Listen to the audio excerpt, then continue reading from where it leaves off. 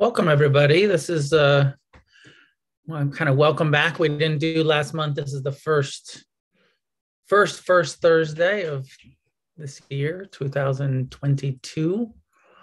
I um, skipped last month. I was on vacation. I'm back and have the intention to continue this series, this offering from World Services um, once a month, every first Thursday, teacher led uh, meditation and discussion. Um, and anybody that's here for their first time, welcome and reminder this is not a refuge recovery meeting. It's not a refuge recovery peer led meeting. Um, this is an actual teacher led meeting. I, um, I've been teaching the Dharma for over 20 years, teaching Buddhism and created the refuge recovery program and you know part of part of refuge recovery's uh, intention is you know it's primarily to provide the support for the peer-led meetings that i'd imagine you're all involved in and and the importance of us just as peers helping each other. But then there's absolutely a place for having relationship with teachers with people that are ahead of us on the path not just mentors but actual dharma teachers to answer our questions and uh, give us some guidance and, and hopefully support and inspire us. And, and that becomes especially important when it's time to go on meditation retreats. Um, you can't go, you know, it's not so easy to do a retreat on your own. You really need a qualified meditation teacher to take you through the process of silent uh, mindfulness retreats. And so that's something that I do and have been doing for a very long time. And and um, you know so a couple years ago we said hey let's do monday night you know let's do thursday night uh, offering for the community so i can be a resource for questions and a resource to offer some guidance. So welcome if you're here for the first time.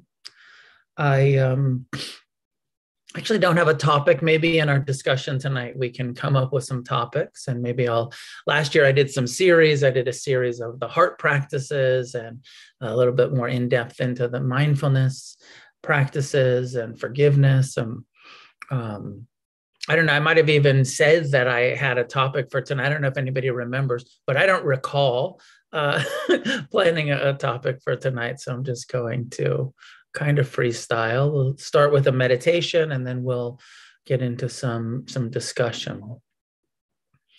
And um, those of you who are uh, participating and really working the refuge recovery program, as you see, uh, it's a systematic training from the earliest practice of mindfulness of the breath, the initial mindfulness instruction of the breath and the encouragement from the beginning to alternate breath awareness, mindfulness practice with um, forgiveness practice.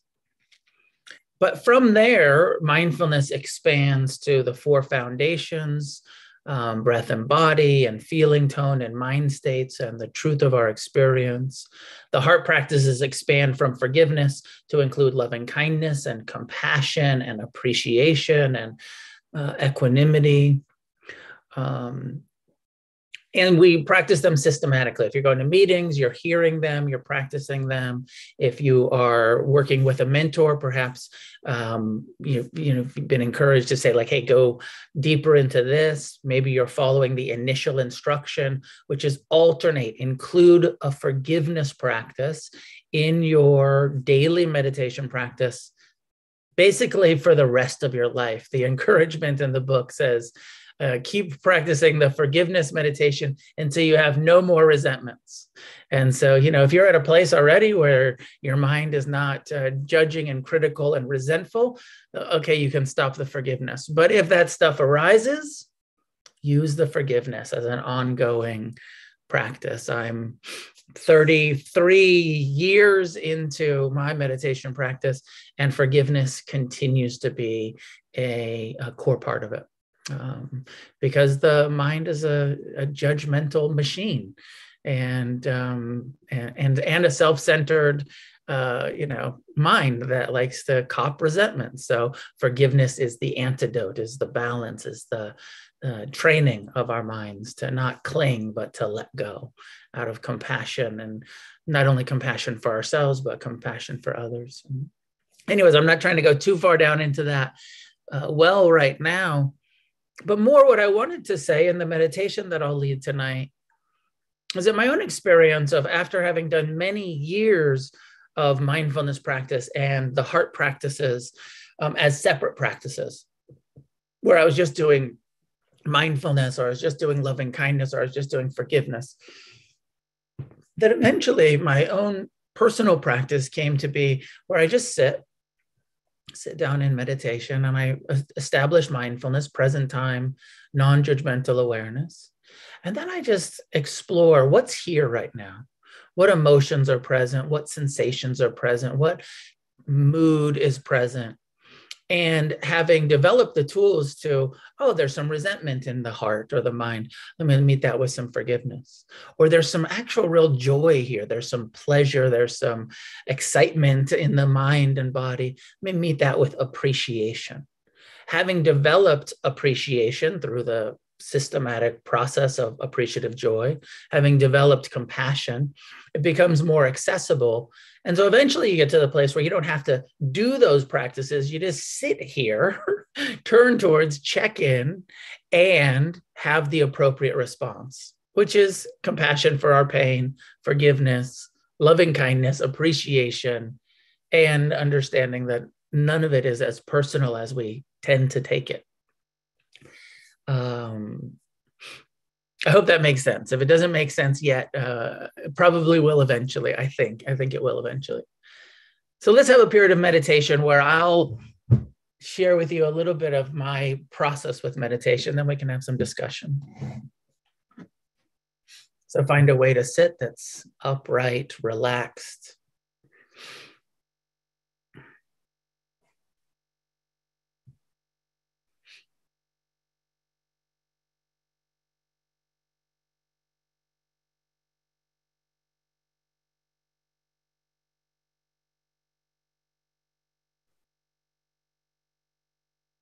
Allowing your eyes to be gently closed,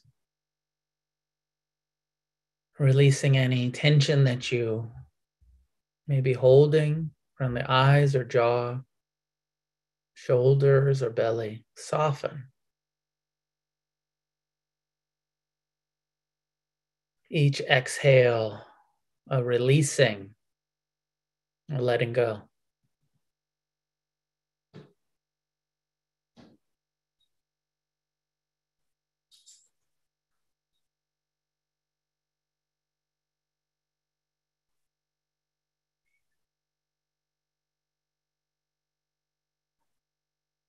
Feel the breath, receive the sensations, breathing in.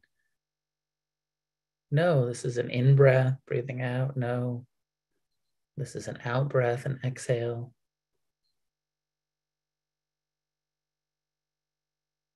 In this way, letting the thoughts be in the background.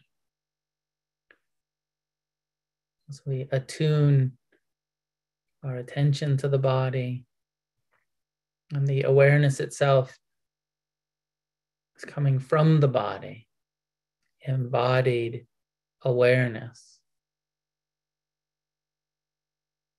feeling the sensations of the body with the body. What I mean by that is if it seems like you're observing your body from consciousness, which resides in your brain, invite that awareness to descend out of the brain through the face, down through the neck and shoulders, to the trunk of the body, and out into the arms and legs.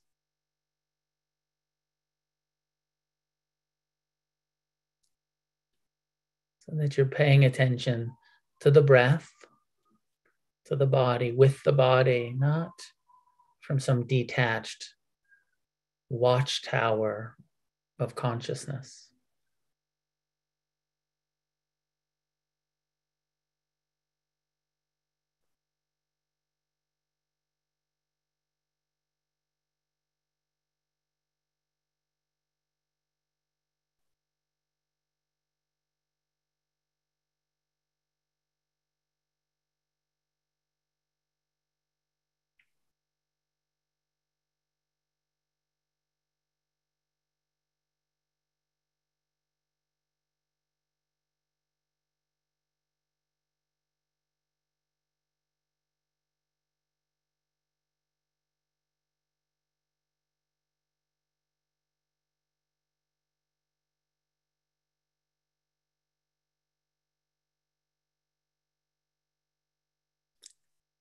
And as we settle into present time awareness of the body, first foundation, establishing a attitude of loving kindness, of friendliness, directing the heart towards compassion and appreciation. That internal reminder that my intention is to be kind to my own mind, body, to the sounds that arise, the sensations, and the thoughts and emotions.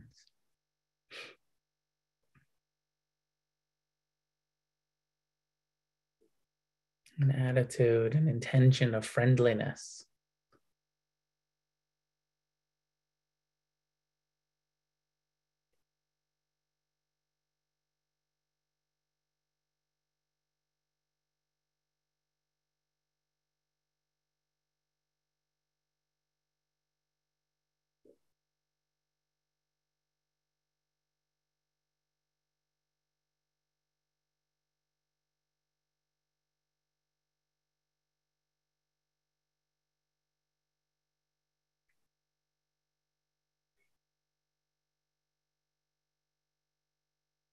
Let the breath be anchoring, grounding, always returning in the beginning here to just what does my breath feel like? First, disengaging from the mind so that we can return to it with a different awareness.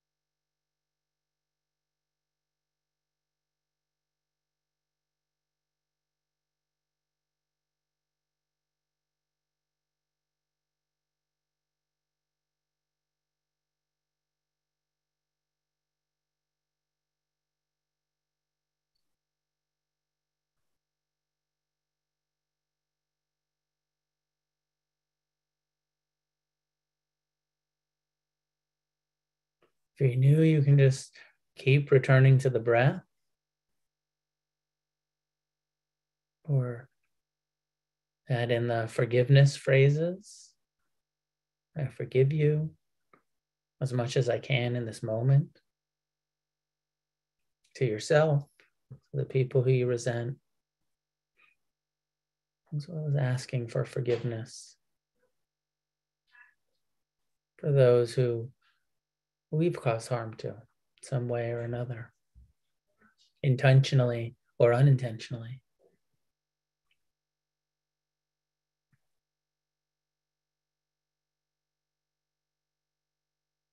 You can begin to open your awareness to their to your whole being. Your whole body, your mind, heart, emotions.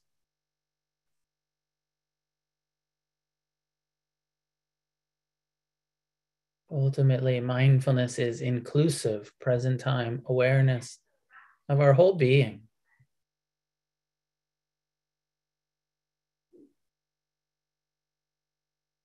Nothing left out, no part unacceptable, nothing that's happening shouldn't be happening. All, all of it met with awareness and with as much kindness as we can in this moment.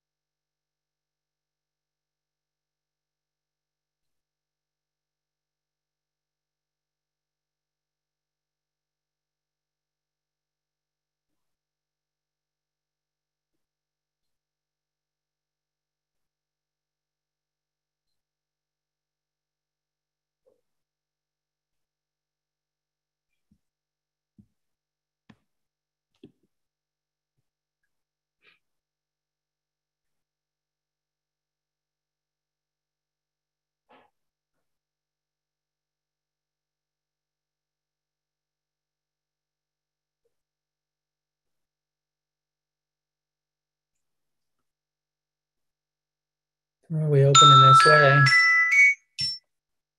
the more we see not only what's happening, but how it feels. What thoughts are present, and whether these thoughts are pleasant or unpleasant or neutral. The sounds that we perceive. Whether they feel or perceived as pleasant or unpleasant. As we incline our intention to respond with compassion to all of the unpleasant sense door experience, thoughts and emotions with tolerance and mercy and compassion.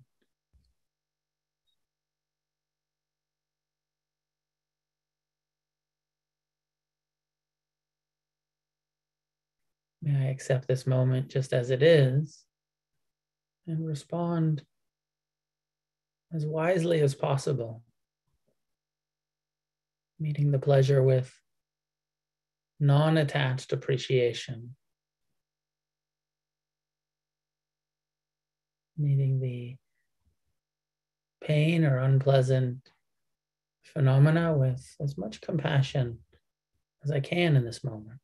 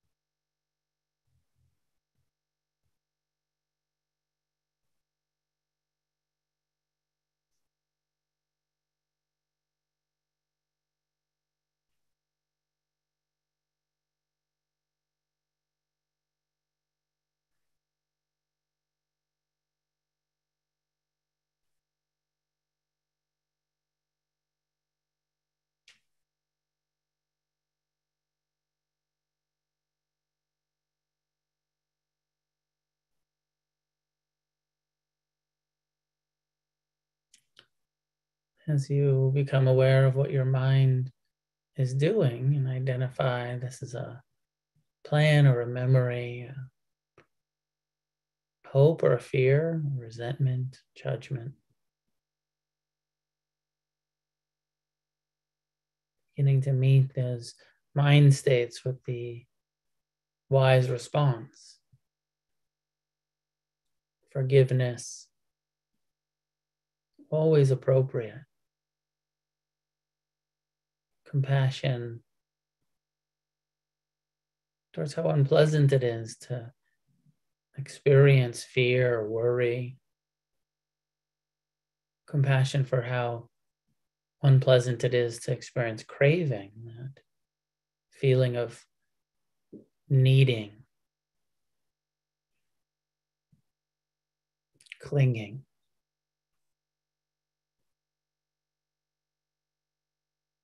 And try softening the belly, relaxing the shoulders, releasing the jaw. Allowing this impermanent craving to arise and pass, this judgment, resentment to be met with forgiveness.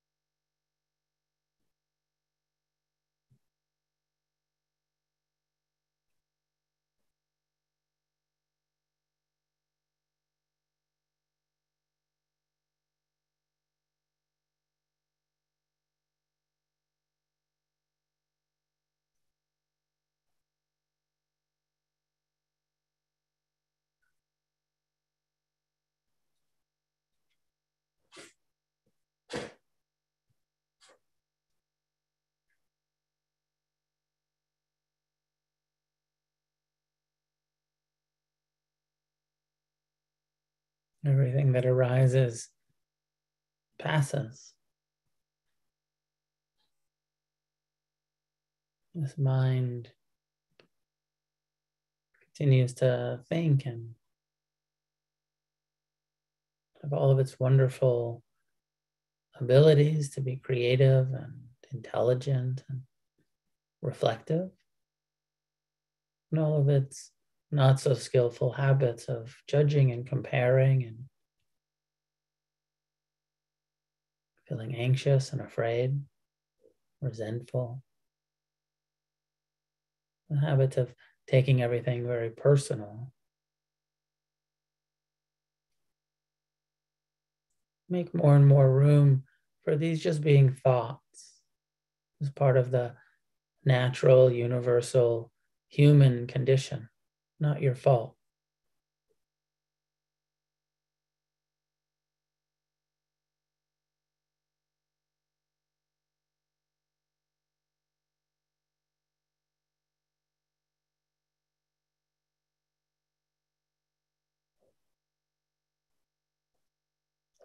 Bringing loving kindness to your own heart and mind, compassion to this mind, this body.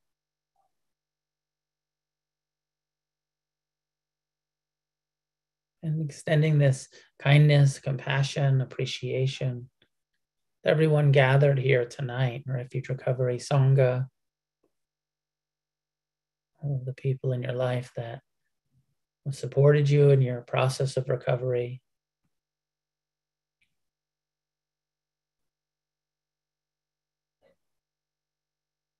Just as I wish to be happy, may you find happiness. May you do what needs to be done to free yourself from suffering, from confusion. Extending this wish to each other and then outward in all directions towards this planet, this world. May all beings be met with kindness and compassion, forgiveness.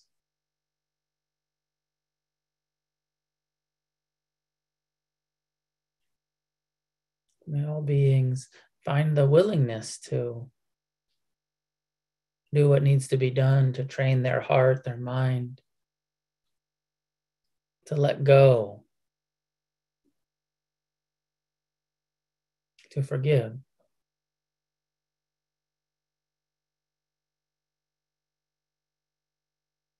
And to respond with kindness and appreciation towards each other.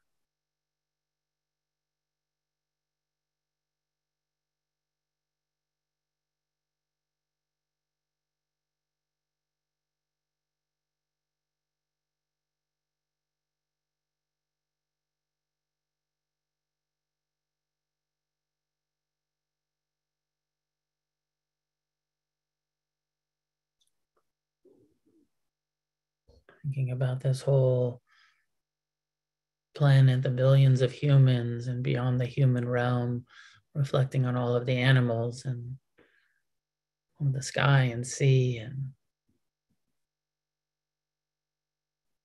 earth as worthy of your loving kindness.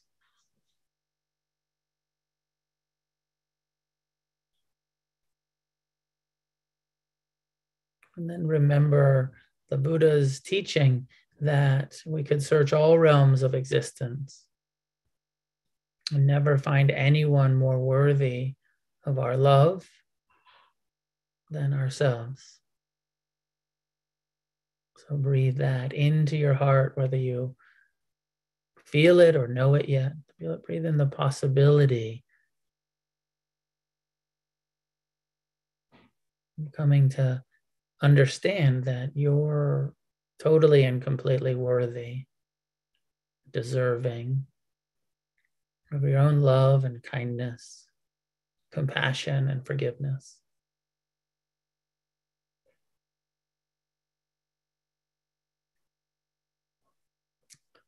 And keep going in that direction. This direction of healing and recovering a reliable internal refuge.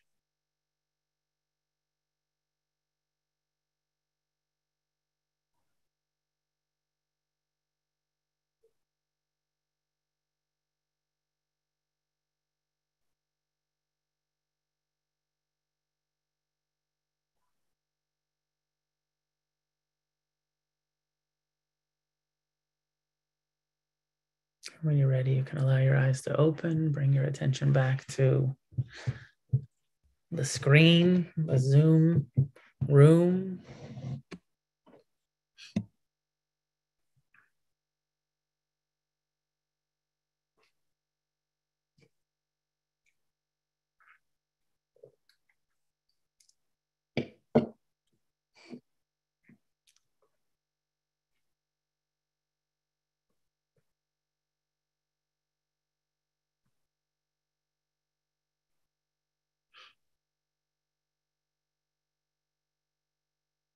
My sense is that in the beginning, my experience in the beginning of studying, practicing Buddhism, is it felt a little complicated.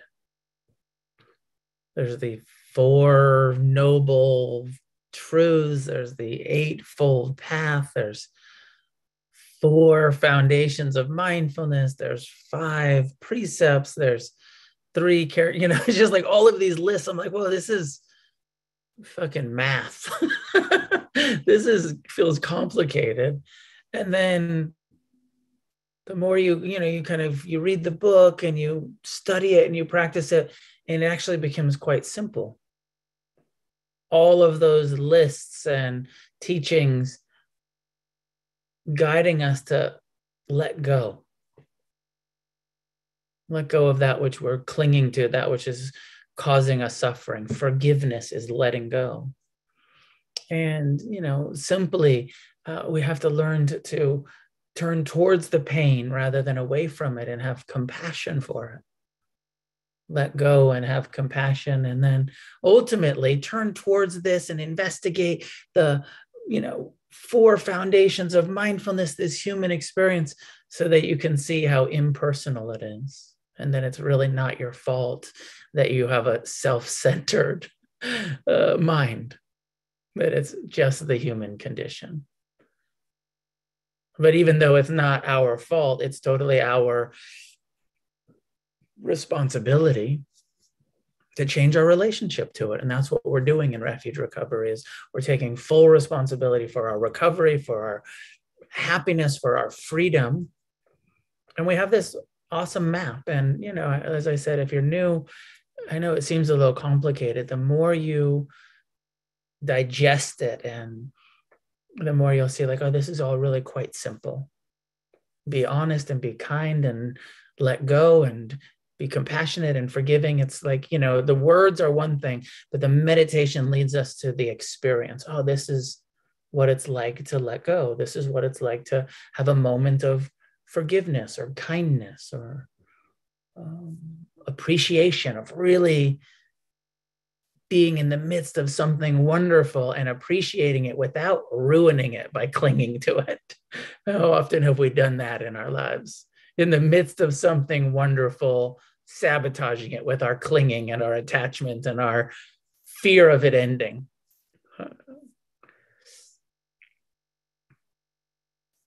So I'm going to leave it there tonight and open to conversation with you, um, questions, comments, clarifications.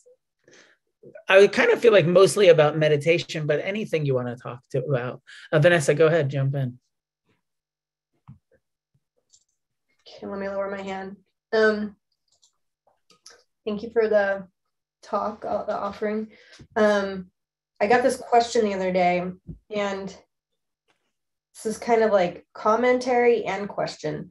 Um, I couldn't answer it per se. Like I used to kind of be able to answer it, but I'm finding like the more I practice, the more like ineffable like I can't like articulate what's happening to me at all like does i don't know like I, am even having a hard time expressing uh, finding words for what's happening in inside and when i sit and how things are working and not just when i sit but like everything how it's being changed. Anywho i got this question the other day and i just ended up doing what i'm doing now which is like stumbling all over the place and not being able to articulate anything and um, but the question was meditation how do you know you're doing it right?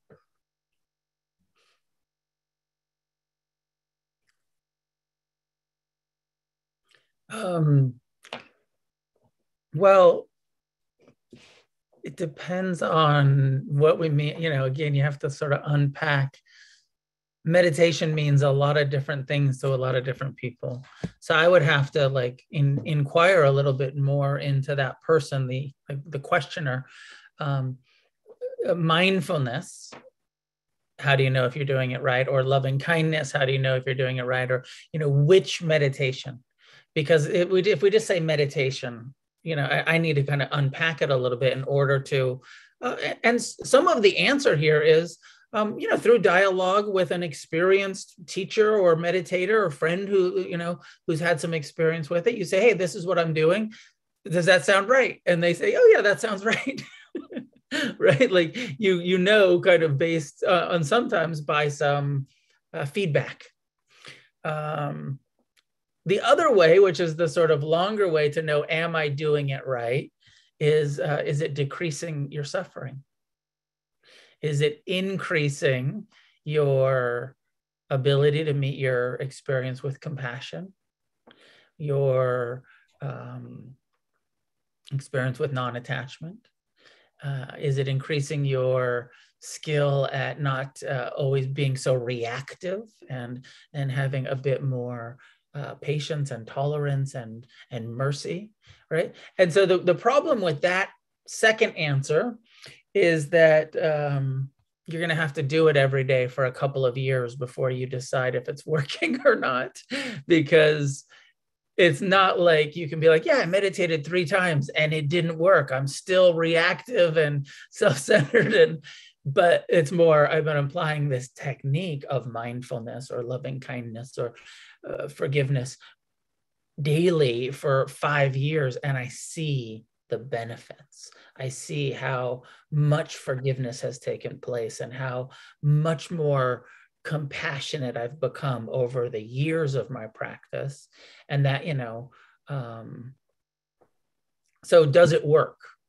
But you can't be too quick to decide whether it's working or not because it's such a gradual process.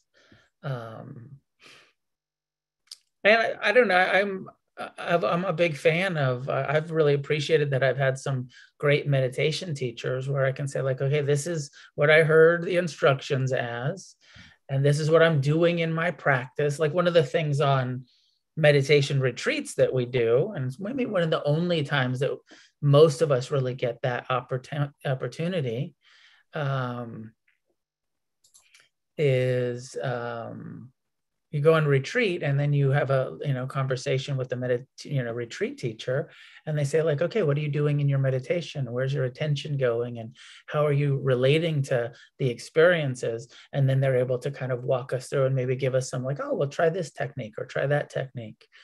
Um, you know it's one of the problems with a peer led program uh, of not having teachers what we're doing in refuge recovery is totally necessary because we wouldn't be able to have a qualified meditation teacher in every meeting. So we really need to do this thing as peers and support each other. And there'll be people that you'll meet who've been meditating for many years and you know are able to mentor you in in really skillful ways.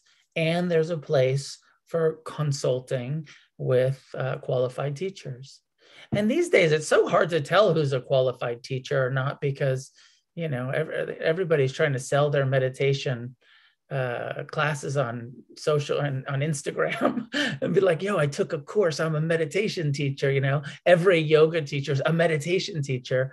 Um, you know, it's it's a little like kind of, uh, are you really like, are you really a meditation teacher, or did you just decide that that's what you're going to be without any real training?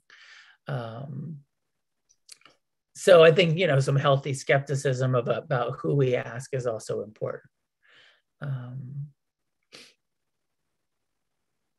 was that helpful, Vanessa?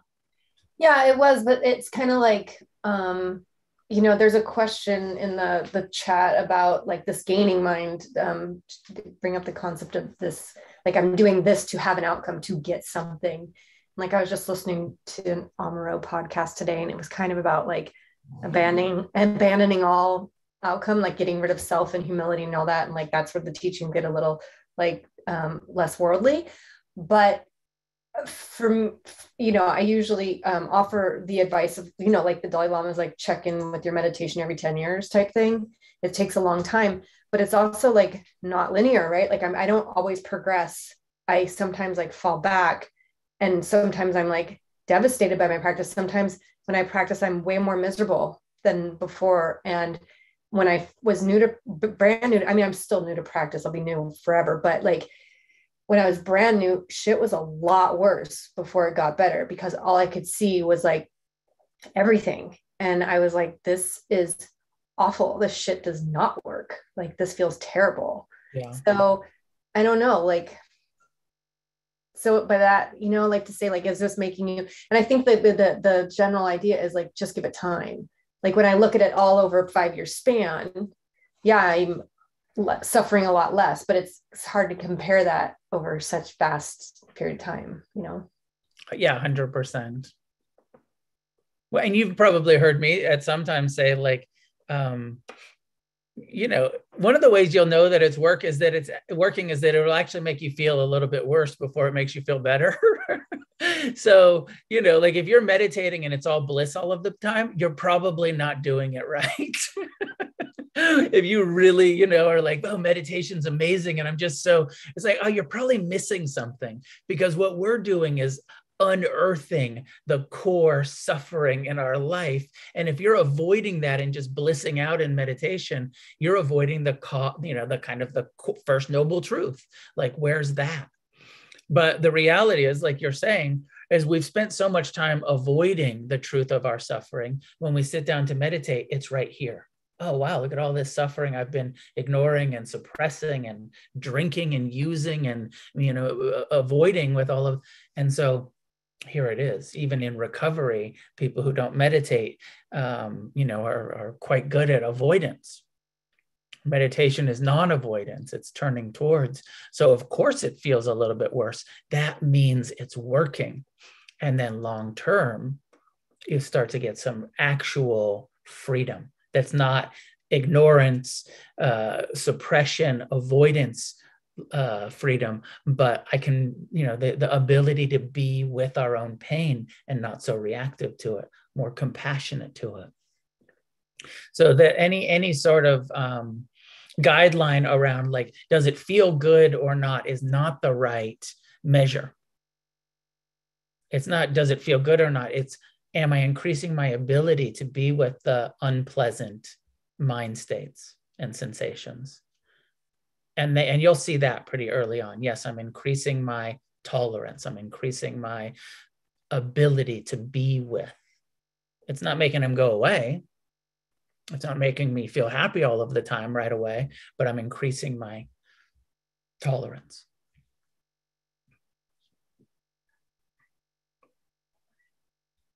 you know this comment and the um about no gaining mind there's a comment a, a question in the chat how does it fit into the teachings that's important to meditate with no gaining mind um i think there's that's wisdom in there and i'm sure that that is in some teachings and uh, no gaining mind sounds kind of zen to me like maybe a japanese zen kind of thing maybe uh, and it's beautiful. I like it. There's wisdom in that. No gaining mind, kind of breaking that uh, way that we can even turn our meditation practice, our spiritual practice, into another thing that we crave for and we cling for, and we're looking for gains, and we're, you know, um, and we have to be careful of that. We can turn our recovery into another thing we suffer about, our meditation into another thing we suffer about. So there's wisdom in that, like, hey, don't be too attached to outcomes. But the way that the Buddha taught the Four Noble Truths is very much outcome driven. There is a goal. The goal is freedom. In order to get to freedom, it takes a lot of effort. So there's no effortless recovery. There's no effortless liberation. Yes, we have to have the, it's, it's part of the second factor the, the wise intentions the wise goals the wise aims making sure that we're pointed towards freedom towards recovery towards love and service and compassion. We're trying to uncover and regain and recover wisdom and compassion. And so we can't use this um, you know perspective of you know a wise caution to say like oh i'm not allowed to try hard. You're going to have to try really my experience has been i've had to try really hard for a really long time. I might have said this in this thursday nights before but there's this tibetan um, master and they find him in a cave and he's like a compassion master just developed compassion for all living beings. And they ask him how did you do it? And he pulls up his robes and he shows them his ass. And he says you see my ass? You see all these like bruises and calluses on my ass? That's how i developed compassion. I sat here in this cave putting the effort in to train my heart for the benefit of all living beings to be compassionate. This didn't happen all by itself. This happened because I set a goal and I put the effort in to obtain the goal. The goal wasn't a selfish one, it wasn't for my liberation, it was an altruistic one for compassion for all living beings, which, of course, the byproduct is one's own freedom.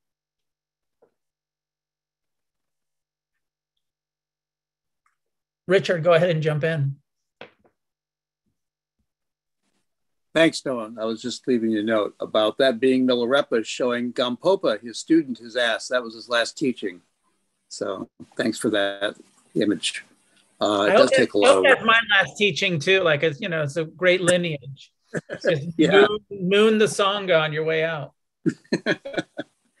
anyway, thanks for tonight. Thanks for this teaching that you've given us. And you know, it really speaks to me about, uh, as you said earlier, is about being able to, in time, being able to sit with your mindfulness practice and let the heart practices, they're not practices, just let the qualities just naturally bubble up, just be there. And that that more and more is my experience the more I do this this meditation work. This, so I appreciate your your mentioning that tonight. It doesn't have to be two different things. That we can have a mindful heart and a heartful mind. You know? Yeah. Well, you've probably heard me say before, and I don't think I say this in the Refuge book, but if you look at the Buddha's, you know, eightfold path, he doesn't teach the heart practices because right. mindfulness led to the experience of loving kindness, compassion, appreciation, equanimity. They came out of mindfulness. Now, later, he realized um, mindfulness will get you there eventually, but it's actually quite helpful to have some techniques of loving kindness and forgiveness techniques. And rather than just waiting for mindfulness to reveal the natural wisdom and compassion, actually, here's some trainings to help you uncover them and develop those qualities in your in your life. Um, but they're not separate. You know, even the term wisdom and compassion is a false duality compassion is not separate from wisdom, it's just wisdom. And the only wise relationship to pain is compassion, period. It's just wisdom. But for some reason, we have this dualistic heart mind, you know, separation. So we have to say, and compassion. but of course, compassion is just an aspect of wisdom. Well, I didn't think I was going to talk about this tonight, and some part of this may be better saved for the uh, Q and A. That's I think happening in March, but I'm going to float it out tonight and see what you think about it. Um, so much of so much of this path and it's been incredibly beneficial for me in my recovery from drugs, alcohol, process addictions. I can't say enough good things about refuge in that regard. Having been practicing now on this path for a few years, the healing has been happening. I feel very different in my body and spirit, in my mind. Um, and it's good. And I'm really appreciative of this, of this. And, and, and so much of this practice seems to be focused on individual development, individual sitting, individual work, individual, you know, meditation. And it's good. And it has to be that. I'm not saying it doesn't. But then there's this community aspect through the Sangha, through being at meetings and talking with people and showing up and being of service and mentoring. And that's how we're help, helping each other as well on this healing path. And I welcome that as well and have been involved in that, as you know. And yet, there's a part of your book. I'm going to the last paragraph in the Path to Heartfulness, where you have a sentence that you've written said, um, I'll back it up a little bit here, saying we all have to do the digging ourselves, which you talked about with efforts. Hopefully, in this, with the support of teachers and community, will be ultimately up to us to do the heavy lifting and letting go, as the case may be. Your life will transform as ours have. And here's the key sentence I want to focus on. And together, we will create positive change in this world. And that occurs to me to take that to a level of how we can share this great wealth of what we're experiencing here in refuge and take it out into the world. And we do in our ordinary daily lives. I know I do. I try to at least, and how we can do that. But yet, still, it seems to me that there is a place in, in the development of refuge as a whole, especially as we're going to be coming out of COVID isolation, I hope in this year of 2022 with the year of the tiger, and it's going to be all this new energy, and we're going to be able to come out more into the community. That there's a place within refuge where we can share what we've gained here in refuge in our communities and do it in a uh, an, I don't know if an organized way is the right word, but in a in a uh, developed way, in a sense of like taking compassion, putting compassion into action. And I'm not even sure what that would look like. Yes, there are forms from other programs, like 12 Step has their H&I, and there's other ways to do this out in the community. But I want us, I think I, I would like to see more conversation here, or maybe at the Q&A, but altogether, that we are finding uh, vehicles for greater service in our communities using what we're learning here and how we're developing in refuge for the sake of effecting positive change in the world as you call for. it. I hope that makes sense. Yeah, it does. Uh, it does. And of course, positive change is a very broad thing. And, and what you're talking about, um, I mean, and I feel like you mostly said it, Richard, which is uh, first and foremost, the positive change that we create is through our own transformation our own you know not being in active addiction practicing honesty and integrity and kindness in the world. That is transformative in your relationships and your families and in a kind of like the thousands the millions of us addicts who are no longer going to be in active addiction because we're in guard, engaged in this form of recovery. That in itself has a huge ripple effect in the world so just your abstinence, your my my your you know all of us. Um, there, there's less harm caused, and that is a positive change on the planet. Um, what you're saying about service and kind of on a group level, we have to, you know, always remember that our kind of, you know, focus is recovery from addiction.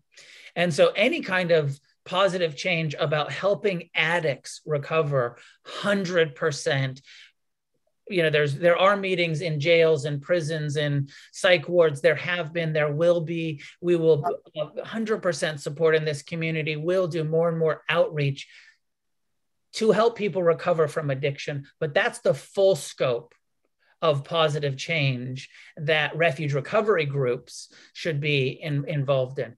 As individuals people might get socially politically active environmentally you know you know all kinds of good causes to to get yourself behind. But as far as a refuge recovery um, based outreach it's going to have to be very clearly just about carrying this uh, message to, to addicts who are seeking help um, and that we can't go beyond that scope. It would be against our guiding principles um, to start taking stances on, you know, political movements or anything like that. I wasn't speaking to that. I have a personal thing, uh, uh, dog in the fight too. My cousin's son, 20, no, he was 19, 19 year old son living outside Omaha, uh, OD'd last month uh, from opiates. And in talking with her about her son, and I was telling her about my experience in refuge, she says, Well, I wish we had something like that out here in Omaha. Yeah. And I, you know, and then and then this being a young person, this being a teenager, it really affected me. It's like, how come I can't take how come I'm not taking this message to teenagers? How come I'm not bringing this message that this great gift that I'm getting through refuge to this population? Yeah. 100% for the last from the beginning we've been uh you know sort of get it trying to get things started and some things have started and then you know splits and pandemics and um but 100% i agree with you that uh the more outreach we can do and it's always that balance you know with outreach it's uh, i'm a big fan of that 12 step perspective that says attraction rather than promotion um but uh you know, and we we have that same sort of feeling of like, hey, we're we want to be of service, but you don't want to become too proselytizing, but you want to make it available uh, in Omaha and everywhere else, and in the jails and the institutions, and you want to make it available for those who are seeking it and who are interested in it without kind of crossing over into some kind of preachy we have the best recovery and everyone else sucks and we're the best you know? We want to be quite uh, you know just open handed in the way that we offer it and and going into but for sure you know there's so many places where, where where that are saying like hey we're open to all forms of recovery but they're really only getting 12 step perspective and they're not getting refuge perspective. And so uh, that's going to happen gradually and organically in in our in our program I'm saying this tonight in order to promote more dialogue within Refuge about it. I don't have any solutions necessarily, but I would like for us to have more open discussion about it. I'll probably bring it back to the Q and A in March as well. Cool. Yeah, let's keep talking Thank, about it. Thank you. Thank you. Um, last two questions. Eric first, and then Amy. You are still muted, Eric. Hey, you hear me now? Yes. So I was like, you know, this whole thing about the thing that really interests me is like this whole thing about like how do you deal with like some of the things you might have done in your past? Like that's that's sort of like the problem that i'm having. It's like god you know i grew up you grew up in santa cruz. I grew up in atlantic city new jersey. And it's like i've done horrible things to people I've done. I've pushed people off a pier. I've punched people in the face. Like I've done like really horrible things. Like I wonder, how do you like come to terms with that? You know, as a Buddhist, like how do you get around that, dude? Because you know, I still feel bad about it, dude. It's like I shouldn't have done it to begin with. Well, first, but I, but I was put in a position to where that was the normal behavior. Well, I mean, that's the um, that's the piece that you're uh, the position that we were in, uh, the underlying, you know, why uh, why did I cause harm? Um, because I was confused, because I was suffering, because I was afraid. Um, and you're just like defending yourself, defending like whatever you have, like you know. All of those, all of those, you know, but but getting to the core underlying, I was suffering. Right. I never threw anybody off a pier or whatever the you know example is out of uh, wisdom. I did it out of ignorance and out of fear and out of confusion. Right. And so if you can kind of get to that place where we can start to have some compassion. Right. I was suffering and my suffering spilled out. Right onto the and people. It, and it caused bad reactions. But yeah, it's better to actually see the bigger picture and just, you know, this is why I'm Buddhist as well. Um, but yeah, like I don't know, man. Some regrets, man. I don't know. So the forgiveness practice, my experience with the forgiveness practice is because uh, I very much felt like that in my early recovery. I was like, I can't, I'm unforgivable. And and my teacher yeah, said, well, exactly. just start saying it to yourself, uh, right. even though you don't mean it. Right. Say to yourself, I forgive I forgive you. I forgive myself as much as I can in this moment. That's like the hardest thing, forgiving yourself. That's that's exactly what I was like getting to. Like forgiving yourself is really difficult for me, or it depends. Like you know, it, you know, that's the hard part. Know that it's going to take years. Right. No, no two things, Eric. One is it's going to take years, probably. Mm. And it will never happen if you don't do it. Right. If you don't, you know, like you're never going to just magically, you know, forgive yourself. Which but I wish, which I wish would be true, but that's not going to happen. If you do the forgiveness phrases every day or every other day, you know, and really like take this on as a task. Do right. the forgiveness, self forgiveness meditation every day for 90 days. Okay and then you know or or for you know and then and then check like oh is how's the inner tone How's the resistance? Is it changing a little bit after 90 days of this? After you know, that makes perfect sense because honestly, you have to work for anything that really is valuable, right? Yes. I mean that that makes sense. Like makes sense. Okay, well, I just had to ask you that because man, I've been struggling with that for a minute, but mm-hmm. it's okay. Yeah, and that, that important piece of like, well, yes, I caused a lot of harm, and it's Yeah. because I was so confused and having Yeah, some caused a lot of compassion for your confusion. And I, I was in a I'm- place to where it was like, this is the way it is. Like, let's hurt people. And it's like, that's, you know, like I've gotten older. I'm like, that's not really what I want from this life. I don't want to hurt people. Like, you know, it's just interesting. But, you know, I'll and we have know. all of the karma from those actions. We own the karma from those actions.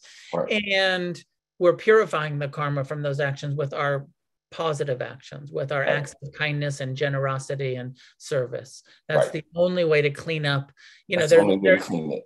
there's some wreckage, you know, there's some direct amends that we get into, and that's important too.